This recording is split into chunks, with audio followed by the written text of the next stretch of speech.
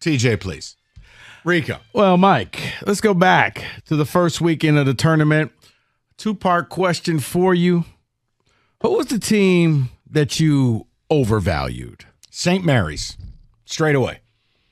I I love the way they played all year. I thought they'd become better than Gonzaga. Top five defensively. They don't let you get to the rim. They got a, a really good point guard, Aidan Mahaney, and they completely showed their ass against Grand Canyon. I'll say St. Mary's. Flip side of that coin, who was Oh, the team? actually, timeout. Can I unwind the yarn ball? all right, let's go No, back. no, I deserve this. Kentucky too.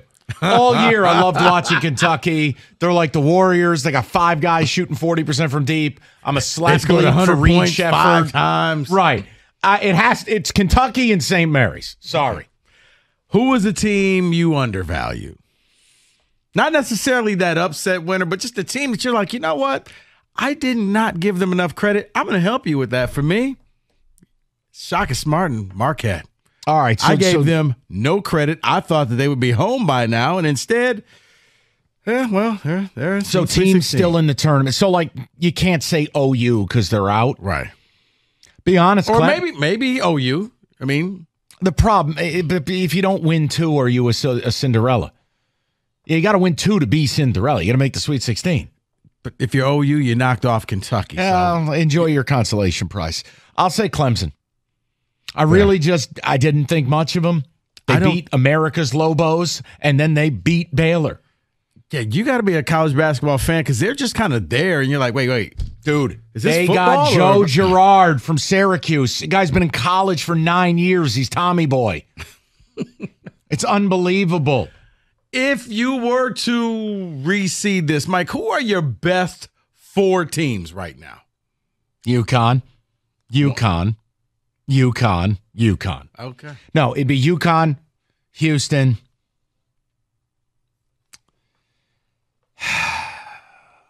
Look, my problem is I think those are just by far and away the best. Uh, North Carolina's fine enough, but I don't think they're special. No. Go ahead. What are your best four? UConn and Houston have to be on the list, right? UConn's there, Purdue's there. You really, I, I give you credit. You are willing to die with Matt Painter. I am. I think this is going to be different. This is the year. This is the year. Matt Painter's your Scott Frost. Houston, I like as well. Um, UNC get the last spot, or you want to bump up somebody else? The fact that your point guard cannot hit a three pointer and that teams actively run away as if that was Mady Sissoko at the three point line, I may bump up Arizona and put God, Arizona. they're hard to trust too, because Caleb Love will shoot you into a game and shoot you out of the game all at once. That's true. All right. Talking about these teams, Mike, is this year's tournament better than last year's tournament because you have blue bloods in it? Mm. But there's really no stars. So would you rather have stars or would you rather have blue bloods? It's a great question. I think a this is a huge problem with the men's game right now, and why I think a lot of people are talking about the women's tournament. Mm-hmm. Look, while the women's tournament, I I I don't find it enjoyable. It's a different style of basketball. It's below the rim. It's just not for me. They have stars. They have Caitlin Clark. They have Paige Bueckers. They have Cardoso at South Reese, Carolina. They, they they have uh, the the the young lady at USC. Uh, not Juju. What was her name? I know you're talking about. but she's awesome Yes. too. Like they have stars. Angel Reese down at LSU. So like I want the stars, but there are none in the men's game. I'll take the blue bloods. I couldn't tolerate last year's Elite Eight and Final Four. It was ridiculous. Whereas this year you look like you're going to get a name brand. I'll blue take. Magic this will be there. weekend. I get Duke and Houston, or I get I get brand names. I'll take this tournament versus last year. How far does DJ Burns and North Carolina State go? I mean, they, how are they going to react to actually not playing every day? They finally get a week off. They played like eight games in ten nights. Coach, who do we play today? It's no one. rest. Go back to sleep. What? well, when shoot around. I mean, first of all, if Horne, their star, does not play better, he no showed against OU. No showed. 40 minutes, he was nowhere to be found. They won't win another game. They have the ability to hurt you because if you don't double Burns, he bodies you into the basket. If you do, he's dropping dimes. Mm-hmm. But here's your issue they only play seven people. They do not have depth. That's going to bite them in the ass. The other problem, I think that point guard at theirs, O'Connell or McConnell, absolute liability. Cannot stand that kid. I'll I- say I'll say they lose this weekend. Can I triple down and say they at least make it to the uh, Elite Eight? DJ Burns is America's player. 'Cause you know I'm rooting for him. I am too. they're playing Marquette. You know what? You know, you know what I was. me and my dad were calling him the big pasta. That's a big bowl of ziti. That guy, uh, the big pasta.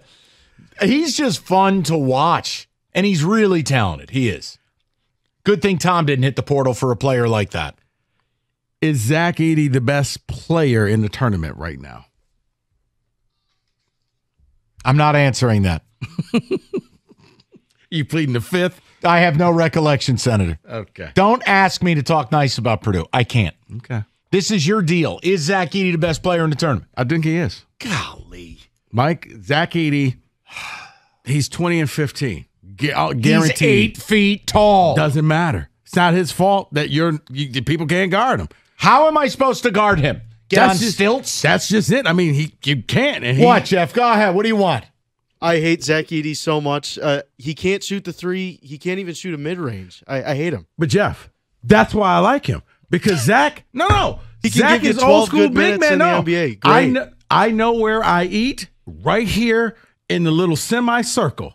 I'm taking all of my shots from here, oh. and you can't stop uh, it. Jeff, Jeff, and I'll have the refs baby me the whole way. Let me lock a guy three inches shorter than me with my arm. That's Bring right. him down. Go get taller players. No hook It's and hold. ridiculous. It is. go get taller players. Oh, will you stop Yeah, because everyone's seven five.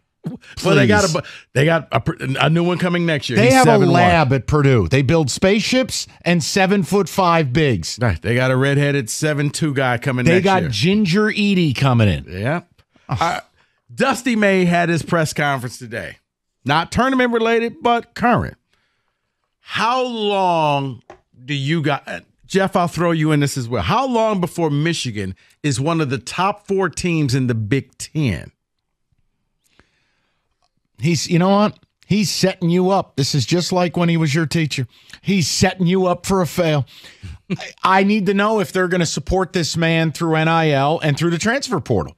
It'll they- probably be the first couple of years, like Juwan Howard, and then they'll stink again. How about that?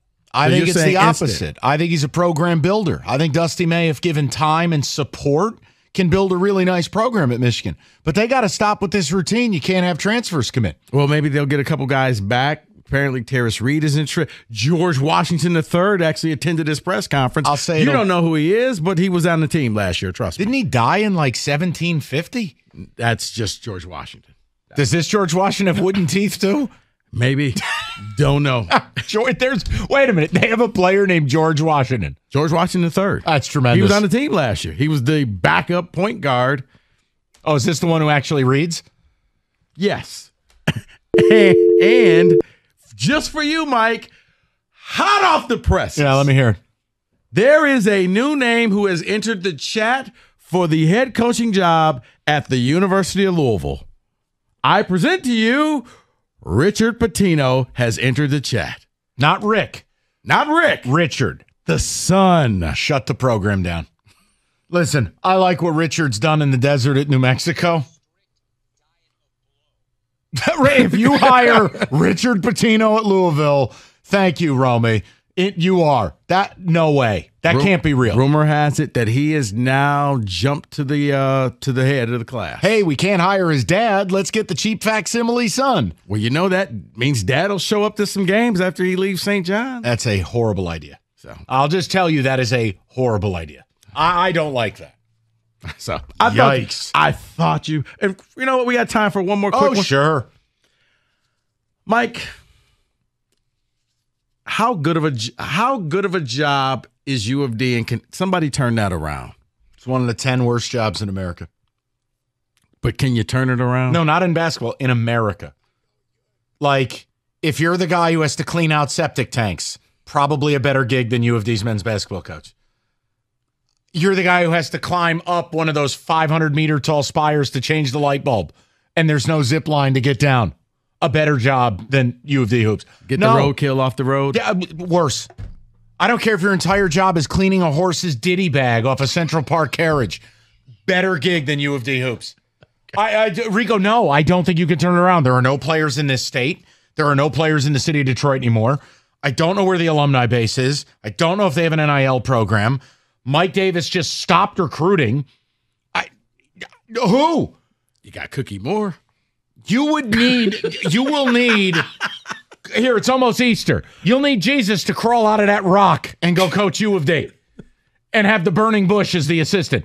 I, no, I don't think you can turn that thing around. Hearing two local names going for the job. Who? Uh, Mark Montgomery and Saddi Washington.